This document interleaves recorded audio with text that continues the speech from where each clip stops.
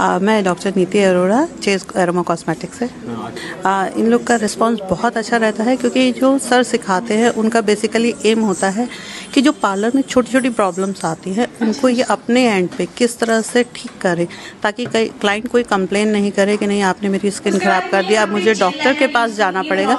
सो इस तरह की जितनी भी प्रॉब्लम्स होती है छोटी छोटी उनका सोल्यूशन डॉक्टर साहब इनको सिखाते हैं एरोमा ऑयल्स के थ्रू देखिए, जिनको पता है कि हमने अगर क्लास ली हुई है डॉक्टर नरेश की तो हमें पता है कि इसेंशियल ऑयल को कौन सी प्रॉब्लम के साथ हम किस तरह से यूज़ कर सकते हैं कि अगर हमारे क्लाइंट को ये प्रॉब्लम है तो हम क्या चीज़ उनको देंगे डेली बेसिस पे लगाने के लिए या अगर कोई पार्लर पे एट ए टाइम प्रॉब्लम आ जाती है तो क्या हम यूज़ करेंगे ताकि उनको बहुत अच्छा रिज़ल्ट मिल जाए? तो वो उनको मेंटल प्रेशर थोड़ा सा कम हो जाता है कि हाँ हमें पता है।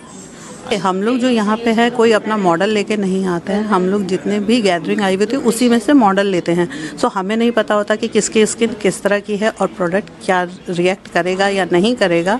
कुछ इसमें से इस तरह के होते हैं जो यूज़ कर रहे होते हैं हमारा प्रोडक्ट कुछ होते हैं कि नहीं कर रहे होते हैं या कर रहे होते हैं तो जो प्रॉब्लम्स आती हैं, वो उनको ऑन स्पॉट रिज़ल्ट मिलता है कि कभी भी हमारे को इस तरह की प्रॉब्लम आती है तो हमने इमीडिएट क्या करना है तो वो भी उनको जानने को मिलता है।